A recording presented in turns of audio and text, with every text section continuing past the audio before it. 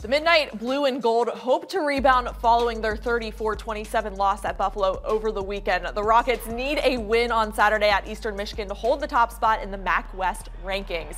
They are facing the Eagles without starting quarterback Dequan Finn after the sophomore took a hard hit late in the game. The plan is for to start Finn under center on Saturday, but it doesn't matter who's leading the offense. The Rockets are going to be ready come game time at any position, we got to see who we we get out of practice on Tuesday morning from our guys. But there's been there's been weeks where you know DQ's missed Tuesday practice due to some lingering things from the game, and Tucker and John Allen have had to take the, the bulk of the reps. And you know, I from when I when I watch a practice, I watch the rhythm of practice, I watch the efficiency of how long we're you know a particular period plays out, and the clock hits zero and we're still three plays left on that you know particular script, uh, you, you it sets off alarms and bells and whistles in your head. And I haven't seen any of that with either one of those guys in there. So the operation of it, of moving efficiently and doing what we're asking them to do, I think they have a good understanding. Tucker's been in our program for you know a few years now and kind of gets what we're trying to get accomplished.